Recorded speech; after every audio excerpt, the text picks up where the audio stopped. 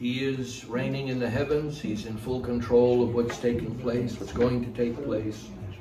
And um, it's just good to be able to acknowledge him. And, and we had an incident yesterday with family, and you know, it was a, kind of one of those numbing instances, I guess you could say, or experiences. But uh, every time, every time that happens, it just it just brings me back to that spirit of gratitude that I'm glad I know what I know. I'm glad I know that this is real and that and that what I have is real.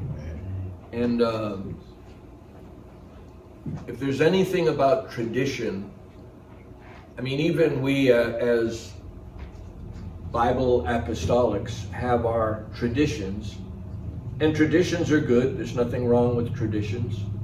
Uh, but I think sometimes our traditions can be a curse.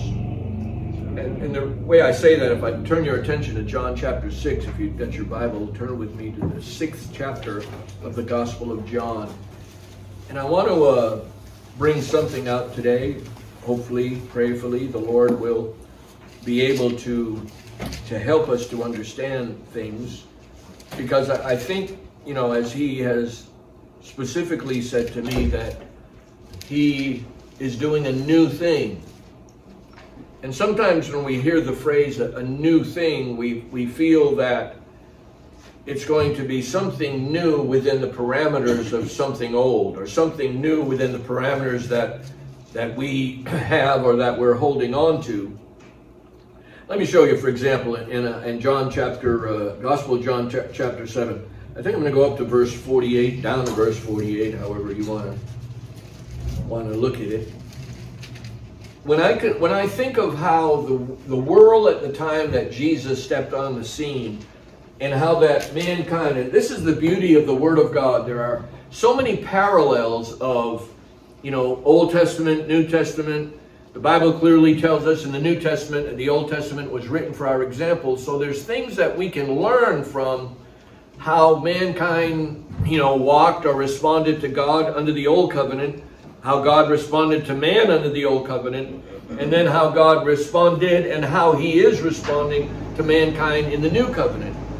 The beauty about scripture is that it's relative to every single culture, every single age, every single year. It's relative to every aspect of mankind's life. For people to say the Bible is not applicable today, and, and when you think of how, how society is trying to destroy the very foundations that our country, for example, was founded upon, mm-hmm. and how they're pointing out, well, you know, we're evil and this is no good, and how they're trying to take what God established in the in the Garden of Eden between a man and, and a woman in the design of having children and raising family, Ephesians chapter 5. I mean, when when man starts to infiltrate the foundation of God's foundation, the only results, the, uh, the actual response to that is clearly chaos, fracture, destruction. It's like you, you ever, there's been times where I've had a piece of thread on, on something and, and in my adult mind, I feel I can just grab this piece of thread and pull it and, and snap it. But boy, there's been times where I was sorry I did that because it didn't break. It just kept unraveling. Uh, then I got to answer to her for doing that doing. What did you do? But, uh, you know, interfering with what God has established really is a dangerous place to be. But that's exactly what tradition does. Tradition has a tendency of blocking God out. In tradition, when people are standing on, on solely on tradition, this is how it's been done, this is how it's always going to be done, this is how it's, it's, it's got to be done and when you when you when you take that type of stand, then God Himself cannot show you the new thing that He's trying to do. And if I understand the scripture cor correctly, God always shifted in times and in seasons. God always brought change when mankind least expected it. So for mankind to take the purity of the Old Testament tabernacle plan and, and the the, uh, the sacrifices being done in the outer court and the responsibility of the priest in the holy place and what took place beyond the veil in the holiest of holies and totally corrupt that and pollute that and uh, make it less than what God originally intended it to be. Now again, Bible says that was written for our examples. Many of the Old Testament law was, was written to make wrongdoing a legal offense. And so when we when Jesus steps on the scene after this period of time where historians and it's been declared that there was 400 years of silence, it wasn't 400 years personally. I don't believe that God didn't have people and God wasn't communicating with his own, but it was 400 years where you don't find anything anything new that was unfolding. And by the time Jesus had stepped on the scene, mankind had taken the purity of a foundational truth of relationship with God and turned it into tradition. Matter of fact, mankind added their own traditions to it. Hello? Yes. How many how many yes. churches, how many religious systems that you know where mankind has infiltrated his ideas or her ideas into the very foundation of where that where that uh, where that particular organization or group uh, originated. You can go back and study church history, and there is times where churches that exist today had the baptism of the Holy Ghost being poured out in their congregations. But they didn't like it. They didn't like the noise it created. They didn't like the chaos. To them, it was it was well, oh, we we can't have this, and so they voted the Holy Ghost out of the church. They did that. Look it up. It's his, historical. And so that so you would think that God would say, "Oh no, I'm not going to. Uh, God's not going to let that happen." He will let it happen because He has obligated Himself to never violate our free will. He will let us do what we want to do. Right. He will let us think we're saved when we're not saved. He, he will let us go our way until such a time when we stand before Him and have to account what we've done with what, what He's given to us. He did he not say in Isaiah that his word would not go forth void. and return mm-hmm. void? void? Yep. It'll always accomplish that which he's designed it to accomplish. And I've got to be open to receive whatever word he wants to give me. And I'm going to be open for him to say, okay, it's time to shift. This is a new thing I'm going to do with you. Uh, he's already, as you've heard personally, said that to me. And after he said that, he said, there will be many that won't understand. And, and I, I still try to wrap my mind around that. I say, why? Why won't they understand? But you can go right back to Matthew chapter 1 and verse 1. And you can read how, how by the time Jesus stepped on the scene, the religious system was so corrupt, the God thing was so corrupt. I mean, it was just, it was shocking, quite frankly, to read about the Old Testament God and then come into the New Testament and see what mankind had done. But that's exactly what Jesus stepped into. And you and I go to and fro throughout our life trying to share with people this thing, this new thing that Jesus has done for us. This, this separation, this, this uh, salvation. You know, the burden that we feel sometimes when we see people that either think they're saved, but we know that doctrinally they don't have a biblical foundation of that salvation. We know what the end result is going to be. Right. Everybody wants to be prayed for. Everybody wants to live forever. Everybody wants things to go nice and, and everybody wants to be healed and everybody don't they don't want problems. And and so when, when the boat seems to be sinking, everybody, most everybody calls upon God and help me, help me, help me. But then once things get back to normal again, God's the furthest thing from their mind. God's not a part of it. I don't know about you, but God is a, an everyday part of my life. Amen. Hello? I wake up thinking about Him. I walk through the day talking to Him. I lay my head down at night before I sleep talking to Him. Every single aspect of life, we have a relationship with Him. And so Jesus in John 6, he, he, he blew those people away, even people that profess to be disciples.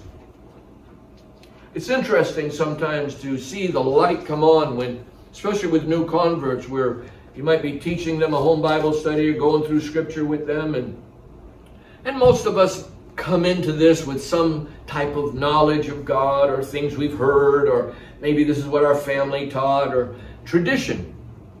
And, uh, and then the light comes on when we say, wait a minute, I've never been shown this. I've never been taught this. I never, I never realized that this was for me. And, and they, they, they learn. And the beauty of, of always having a, a hunger and a thirst for the Lord and for the things of God is, is such a critical, critical aspect of our relationship and our walk with Him.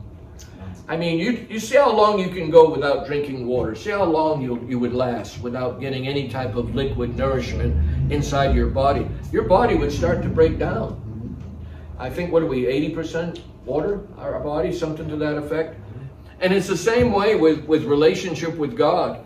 And it's amazing how Jesus himself used water to uh, reflect the baptism of the Holy Ghost. And that if a person would believe in him, like the Bible says, uh, then the scripture says when they apply that belief to their lives and they let it transform them, they let it take, out of their belly would flow rivers of living water.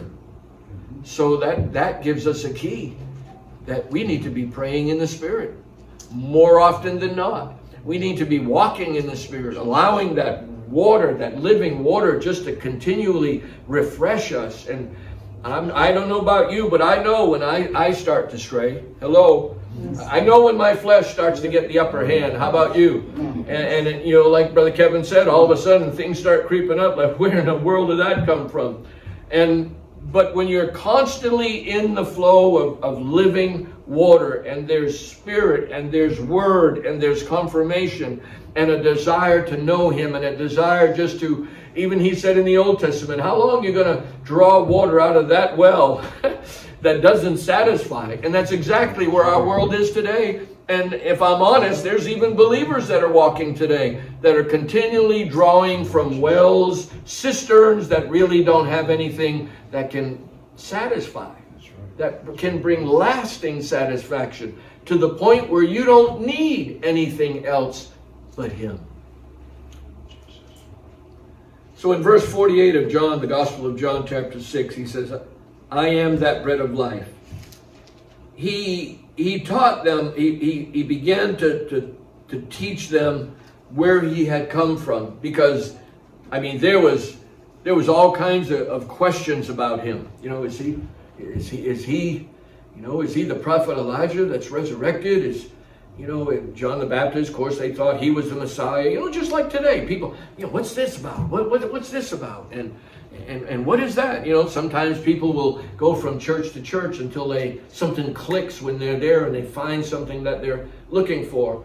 And, and I've had that happen. I've had people I'll never forget one guy, you know, he got the baptism of the Holy Ghost and he was a firecracker. It was powerful to hear his testimonies, to listen to him, to, to be with him. We had prayer meetings in our living room and, and the power of God would hit him and he'd, he'd uh, testify or speak in tongues. or It was just a, an awesome, awesome experience.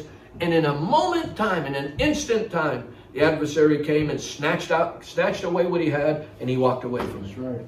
Yeah. And he said to me when he walked away, he said, maybe, maybe I'll have to be like Paul. The Apostle Paul, he really wreaked havoc in the church when he first came into the church to the point where they just told him to go home. He, was, he was causing all kinds of chaos. So it's believed he, he went and he went to the backside of a desert, if I can say it that way, for a number of years. And, uh, and he eventually got established and eventually turned to be what God had instructed him to be. But you know, this guy says, you know, maybe I have to be like the Apostle Paul and go away for a season and then end up coming back. But he hasn't come back yet. I pray for him every every now and then. He pops in my mind. That's, oh Lord. So Jesus steps on the scene and he says to them, I'm the bread of life, verse 48, and he references he references their tradition, their history, something that they were familiar with. Verse 49, your fathers did eat manna in the wilderness and are dead. Everybody say dead. Dead. And uh, he says, This is the bread which comes down from heaven, that a man may eat thereof and not die. now, I don't know about you, but we had a good breakfast yesterday. I did, anyway. And uh, for lunch, I started out with a piece of cake and some ice cream and made my way to some steak and rice. And uh, by the time we got home last night, Brother Kevin, my, my stomach was making noise. I needed to eat something. So I had a small bowl of shredded wheat. Frosted shredded wheat that. and, uh, and when I got up in the morning, could you believe I was hungry again? God has created us so that even though we may eat food, eventually we come to a place where where uh, we do get hungry again. We our bodies are designed for nourishment. Our bodies are designed to have a continual sustenance. And when he made this statement to them and said that this is the bread which come down from heaven that a man may eat thereof and not die, it totally caught them off guard because they knew everybody died. They knew everybody if you eat you'll you'll be able to function, you'll keep on keep on going. But then when he turns around in verse 4, 51 and he says, I am the living bread. You see, that's the difference between, let's say, what we have and what others that are not in the faith have. The difference is living bread. We have something that's alive. The Bible says that the Word of God is, is King James says quick and powerful, but it means it's alive and it's active. Praise God. Thank you. Jesus. And he tells them that this eternal truth is the fact that that I am the living bread which came down from heaven, and if any man eat of this bread, he shall live forever. And the bread that I will give him is my flesh, which I will give for the life of the world. This is the this is the curse of tradition. God is ready to do a new thing. God comes on the scene, manifests himself as flesh. He in the, in Jesus Christ his ministry is going to begin, and he starts talking about, he's in the synagogue and he's teaching. They've seen his signs and wonders, they've seen his miracles, they've seen the manifestation of what he can do. But as he begins to talk, their traditions literally close the door on what he was trying to impart to them. And you'll see, you'll see this in a minute. And in the hour that we're living in, and, and we've, we've heard it many times, if you have any sense of the Holy Ghost, you can sense what's going on. We, we know, you know, we're in the last of the last days. Uh, whether the Lord is going to return while we're all still here or whether he takes us home before everybody else goes, no man knows the hour nor the day. However, we see that there's been a shift in the atmosphere. There's been a, a change in the environment, if I can say it that way. Not the natural environment, but the spiritual environment. Is a very very active spirit realm that, that has been stirred up, both on the side of, of our adversary, but also both on the side of God. God. Because God is, uh, if I can use the crazy analogy of a, of a chess player, he is moving his people, the pieces that he is going to use to bring the greatest end time harvest and revival that the world has ever seen. But at the same time, he's going to bring the greatest judgment that mankind has ever seen. He even described it as something that has never happened to the earth at that time. You know that death doesn't has no respect. Nope. Death doesn't wait. He doesn't care about your schedule. Death mm-hmm. doesn't care about what you've got planned. Uh, I mean, you can you can have all kinds of things planned out, and when it's time for that appointment, that appointment is going to come. And to know that, but to walk around in life like it doesn't exist and like it's never going to happen. No, I don't mean we walk around say, "Oh, I'm going to die someday. I'm going to die someday." Of course, as believers, we know to be absent from the body, we're going to be present with the Lord. I'll stand here and say, "I can't wait to go. I'm ready to go." Come quickly, Lord Jesus but I don't know. I don't know how my appointment is going to play out. I don't know what his plan is. But he does have a plan for me, and he does have a plan for you. Right. And so the atmosphere is primed. You know, if you have gasoline in a particular area, there can be no flame or anything, but you take a, a lighter and stand in that room with fumes of gas around, you can you can really cause some serious, serious damage if you were to light that flame. And this is where we're at. There are things being ignited by mankind into the earth that is bringing what some people are calling a great reset. And this great reset may not affect our everyday living. Yeah, groceries are going up and gasoline is going up and some crazy things as inventory shortages. So we're, we're getting bits and pieces out of it. But there's a, a tremendous, tremendous uh, influx of spirituality that is being both thrown out there by witchcraft and seducing spirits and uh, doctrines of devils. It's been around forever, but it's it's ramping up. We know the scripture says Satan knows he has a short time. He is going to wreak havoc in the church. Trust me.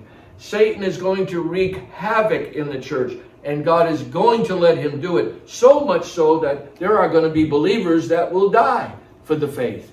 I don't know if I'm going to be in that category, Sister Doty. I'm free now. I can say what I want. I can do what I want for the most part. But we really don't know what tomorrow is going to bring. And so when Jesus says to these folks that the bread that he gives is his flesh, it totally, totally caught them off guard. It was a new time for a new thing and a new season, and they closed their minds and they used their tradition to criticize what Jesus was trying to tell them. And I pray, Father, in Jesus' name, I pray that you and I would not allow the traditions of truth that we have, of Bible that we know, of experiences that we've experienced, you, to close the door on the change that Jesus is trying to bring in my life and trying to bring in your life. Because trust me when I say that each and every one of us are going to have to be changed and transformed to walk into an end time event that the Lord has planned for us. And some, some current apostolic believers are going to be challenged to the hundredth degree when he really begins to unfold what he plans on unfolding. And we're going to find out, my friends, if what we say we are and what we say we have, we truly have it and we truly are that. And I believe the, these verses of Scripture, look at verse 52. The Jews therefore strove among themselves, saying, How can this man give us his flesh to eat? They were so turned off to what Jesus was telling them that they didn't understand. And they didn't want to understand. Kevin, if, if you told me something that you felt God told you and you, and you had Bible and, and, and it was just totally out of my realm, I'd say, man, we got to look at this. Let's study this together. Let's, you know what I mean? I, I don't want to just write something off just because I didn't have the experience or just because I haven't been told that before. And there's people that you and I know that are holding on to traditions. And I'm not saying their traditions are wrong, but they're not in the place to be changed the way God wants to change them right now.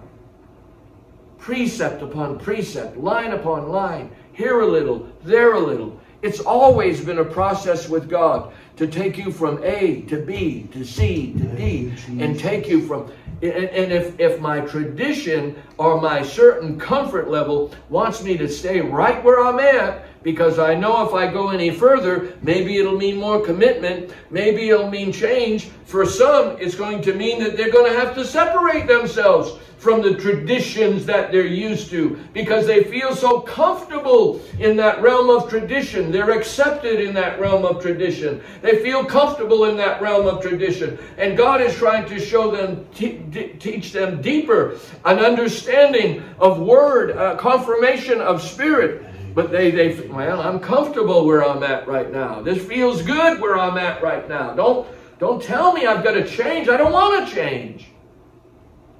And Jesus then says to them in verse 53 Truly, truly, I say to you, except you eat the flesh of the Son of Man and drink his blood, you have no life in you. Talk about a talk about a blow. what? I, you telling me I've got to eat your flesh and drink your blood? You see, the curse of tradition stole their teachable spirit, didn't even let them, they were blinded, caused them to be stiff necked, caused, caused their mental understanding to be totally shut down. And, and he wasn't he wasn't doing it to purposely destroy them. He was doing it to see what is inside of these people. Are these people going to receive what I'm trying to say to them?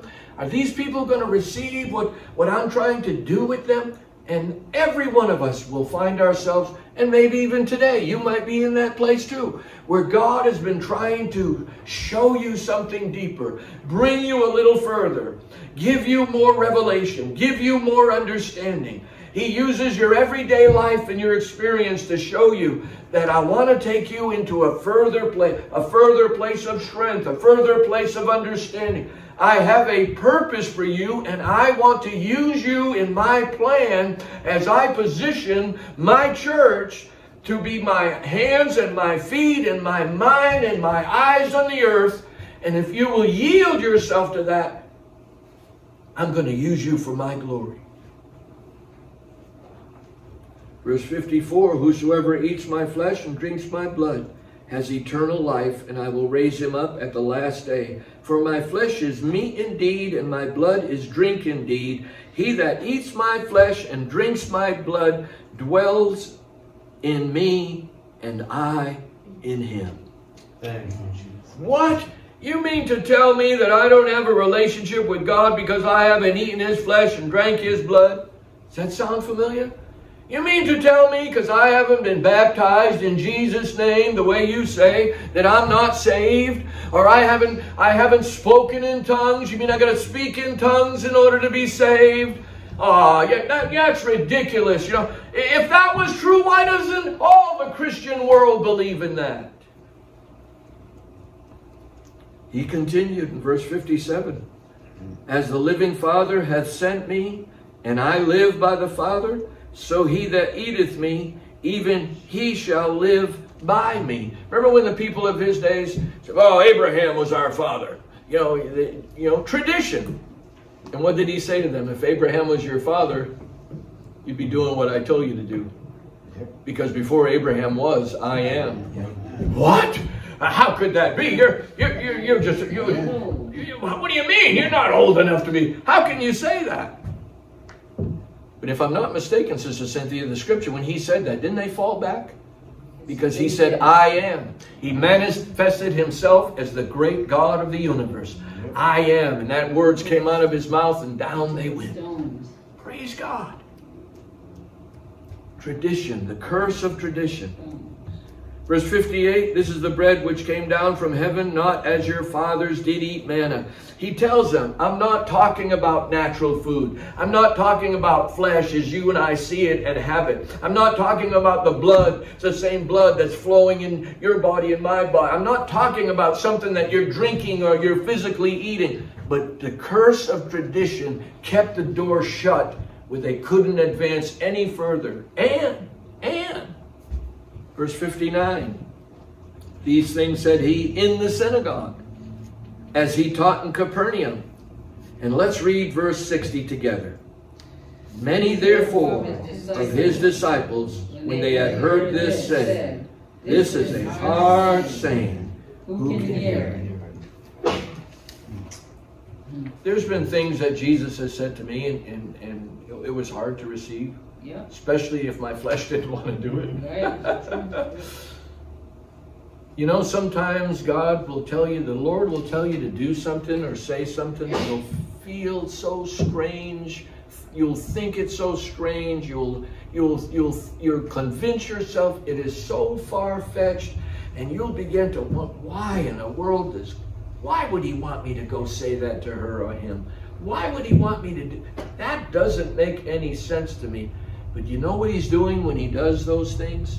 He wants to see, number one, if you can hear him, and number two, if you're going to obey him. Right. Right. Because he doesn't care if it doesn't make sense to you. Mm -hmm. It may not make sense to anybody else around you. But for you, it has to make sense in that you hear the voice of God and you obey the voice of God.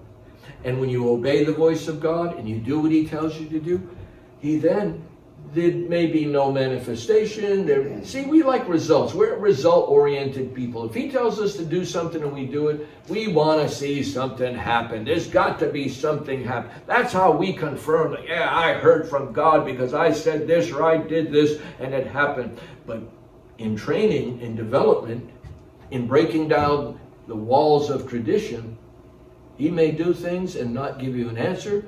There'll be no manifestation of spirit. There'll be no confirmation or anything. He just wanted to see if you're going to do what he told you to do. And as you do it, that develops your hearing ear. That develops that that that humbleness and, and that's how you learn, oh wow, I, I know how to hear from God. God's talking to me and I know it's his voice because I've experienced it before. When Jesus himself, verse 61, when Jesus knew in himself that his disciples, notice, his disciples murmured at it, he said unto him, uh, unto them, Does this offend you? You ever have the word of God offend you? Many times. Be honest with you. Many times. You ever have the word of God step on your toes? Many times. Of course, the immediate response is for us to blame the deliverer. Point the finger at the person that's delivering the mail and say, how dare him, who he think he is, or who she thinks she is. But Jesus wanted to know. In verse 62, he expounds that question a little deeper and asks, joins another question to it. He says, What and if you shall see the Son of Man uh, ascend up where he was before? It is the Spirit that quickens. It's the Spirit that makes alive, is what he's saying. That word quicken means to make alive. It's the Spirit that quickens. The flesh profits nothing. The words that I speak unto you, they're spirit and they're life. He was driving the fact home. Yes, many disciples ended up walking away. They weren't who they said they were. They labeled themselves as disciples. They labeled themselves as followers of Jesus. But when the rubber hit the road and he began to break through their traditional understanding and their traditional thinking, it revealed truly what they were on the inside. And that is happening now. That is happening now, even in this hour, where believers are being challenged with a new season, a new thing that God is trying to do. God is trying to break through traditional walls. God is trying to break through traditional habits. And if we're not careful, we'll find ourselves saying, This is a hard saying. I was brought up in this thing and I've never heard of this thing before. And and what, what, what, and there may be people that you know that won't accept what you have to say because Jesus is sending you into a new season. And, and we want we want to be loved. We want to be accepted. We we want people to, to, to we want people to love us and accept us. And God, what you're telling me to do, not everybody, many will not understand. But why? And all His response is is just just let your faith exceed what your natural eyes see and what your natural ears hear. Jesus.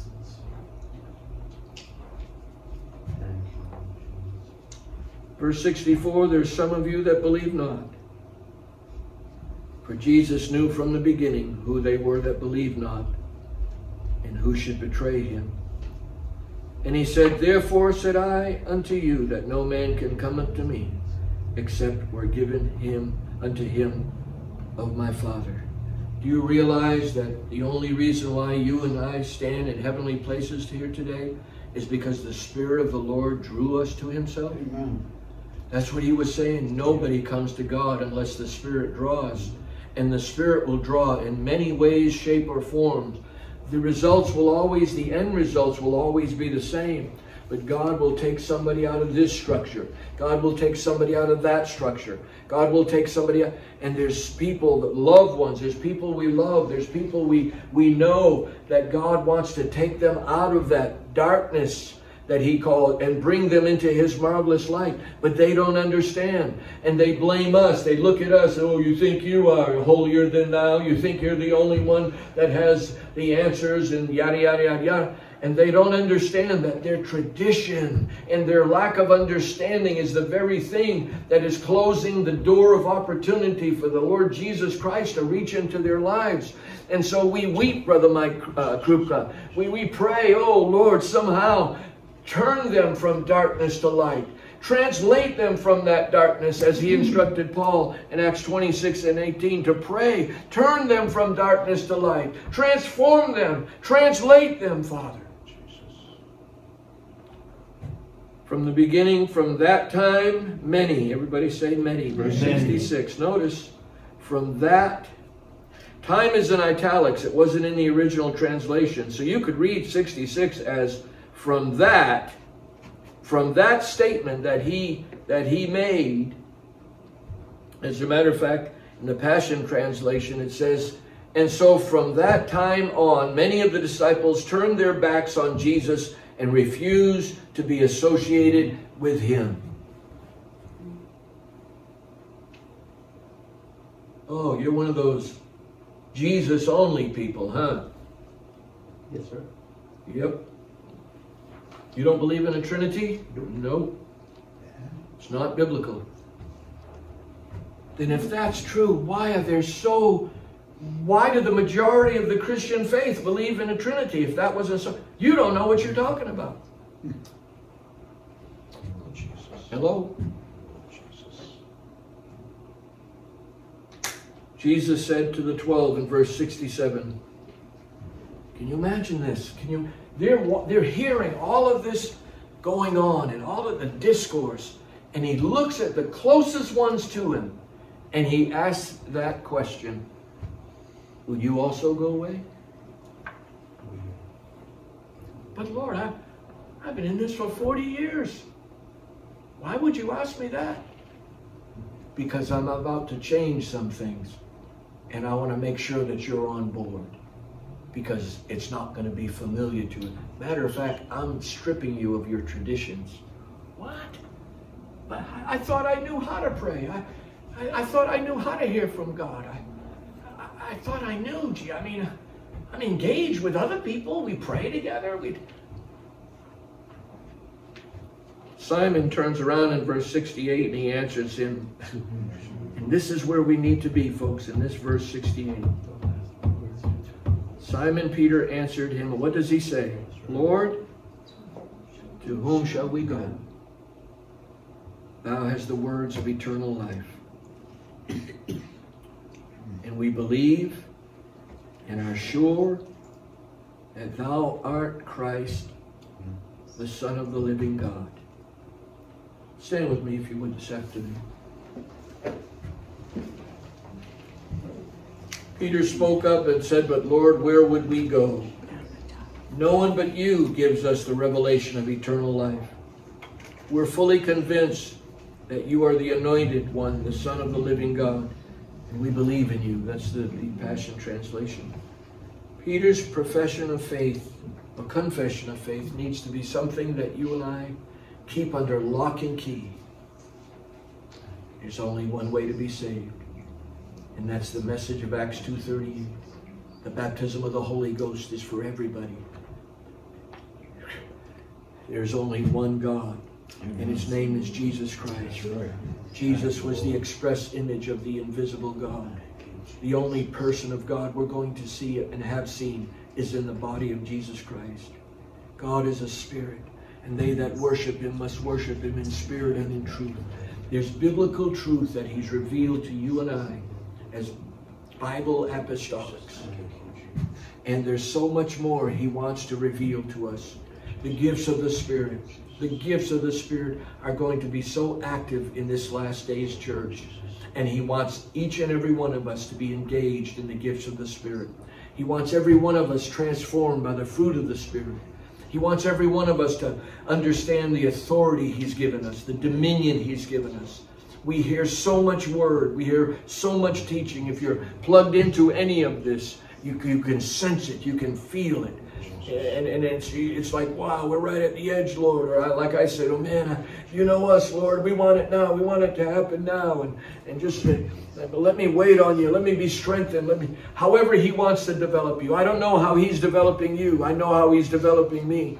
But I pray in Jesus' name that your tradition, your Pentecostal, Bible-believing, Acts 2.38 tradition doesn't close the door to him, to what he wants to, where he wants you to move and where he wants to bring you to that place where you're prepared for his end time plan.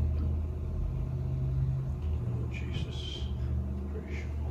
Jesus after he tells them, or Peter responded to him, Jesus shocks them with these words in verse 70.